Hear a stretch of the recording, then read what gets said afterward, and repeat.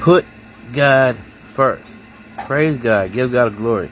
He is the Father, the Son, the Holy Spirit. Three and one. Wow. Huge, very, huge trade that I just got finished seeing on the TV.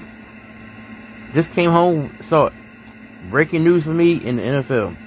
Russell Wilson has been traded. That's you. That's right. You heard it right.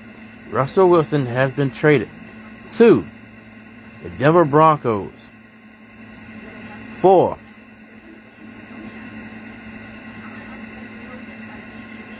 Denver gets a quarterback, Drew Lock.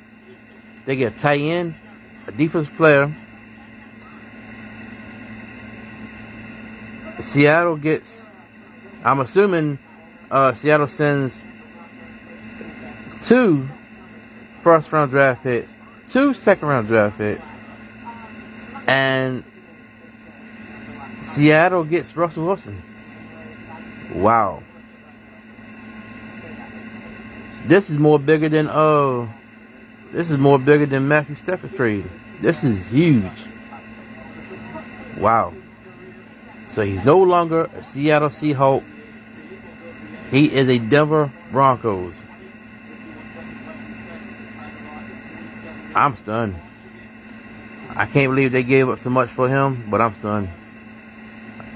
No more Russell Wilson in Seattle. Case closed. But I'm glad Philadelphia didn't give up that much. I told you. Philadelphia, I'm glad y'all didn't because that is too much for Russell Wilson. I'm sorry.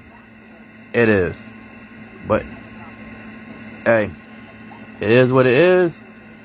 And now Russell Wilson to be in the same division with Patrick Mahomes and whoever, the, uh, Derek Carr and Justin Herbert, I believe. But uh, yeah, that's the biggest and breaking news right now in the NFL. Russell Wilson is a Denver Bronco. And it's huge. It's big. So everyone stay blessed. God's go at time. Wow. That's all I gotta say is wow. Peace.